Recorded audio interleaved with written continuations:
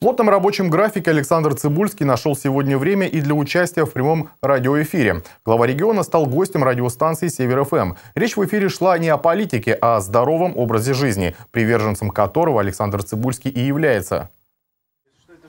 В обеденный перерыв именно в это время идет программа «Прямой эфир» с Анастасией Максимовой и Иваном Шоу. Разговор начали с темы здорового питания. Ведущий интересуется, действительно ли Александру Цибульскому понравилась еда, которой несколько дней назад его угощали работники Медфуда. Глава региона признается, понравилось, но соли было маловато. Слушайте, очень интересная история получилась с компанией Медфуд. У меня, если честно, по плану в голове был совершенно другой сценарий, поскольку я получал довольно большое количество жалоб на качество еды в больнице. Моя идея была вызвать, собственно, что я и сделал, вызвать представителей этой компании сюда, э, провести с ними соответствующую беседу, обратить внимание на некачественные продукты. Я, в общем, попросил, говорю, давайте так, своему помощнику сказал, когда они зайдут, ты сразу езжай в больницу, возьми мне то, что давали на обед, то, что сегодня дают на ужин, привози, и я прямо здесь дам им попробовать, мы поймем, как это невкусно, и, соответственно, э, наставим их на путь истины. То есть я был настроен на такую довольно жесткую, даже немного агрессивный разговор,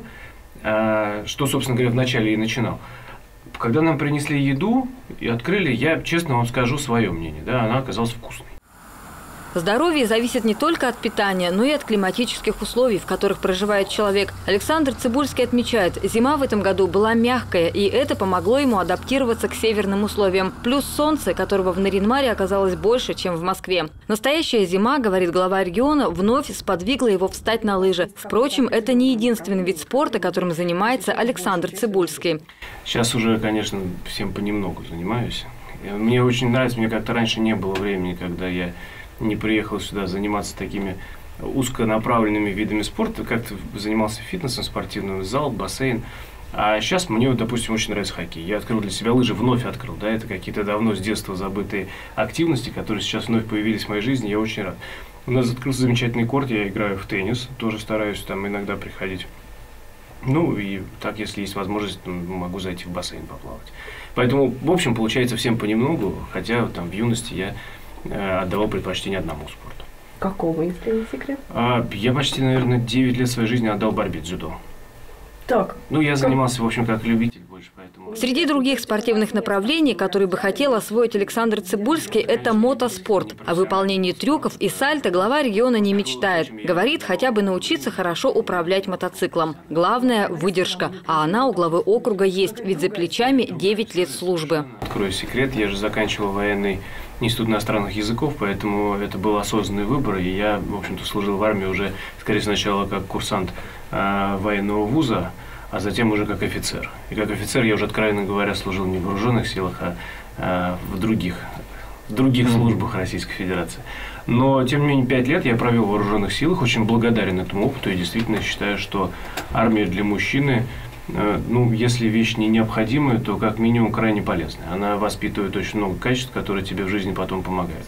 Сейчас Александр Цибульский в звании капитана. У военного в отставке есть овчарка по кличке Халиф. Бедный Халиф наверняка не знал, что он станет символом года, а еще и к тому, что он станет героем радиопередачи. То есть уже практически переходит в разряд звезды.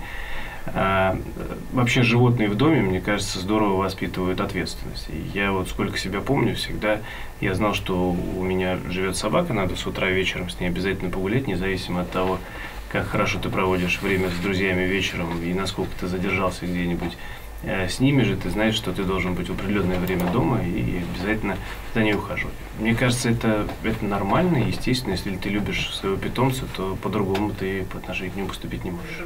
Пса Халифа прославили социальные сети. Именно там он собирает лайки и восторженные комментарии. А сам хозяин овчарки использует соцсети как инструмент общения с гражданами. Я через соцсети, скажу вам, получаю очень много сигналов и каких-то э, жалоб, предложений, размышлений от наших жителей, что мне, кстати, кстати, очень помогает потом в работе.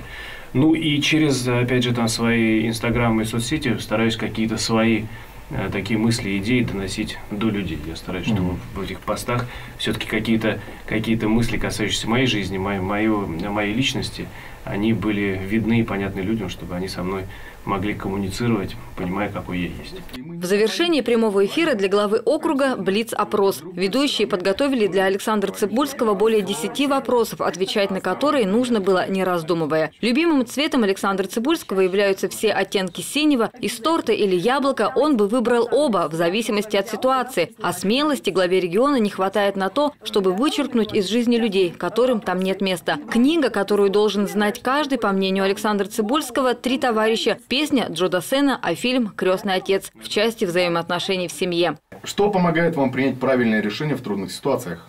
А, окружающие люди. Кто был вашим героем в детстве?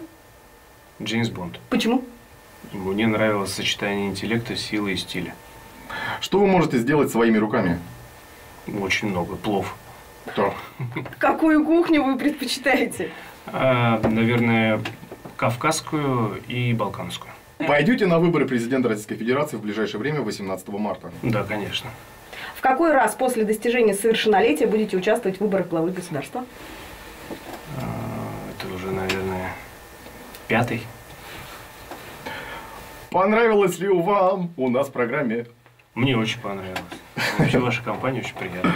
Блиц закончен. Спасибо, Спасибо вам большое. Мария Владимирова, Антон Водряков, Вадим Носкин, телеканал «Север». время, Чтобы прийти, пообщаться.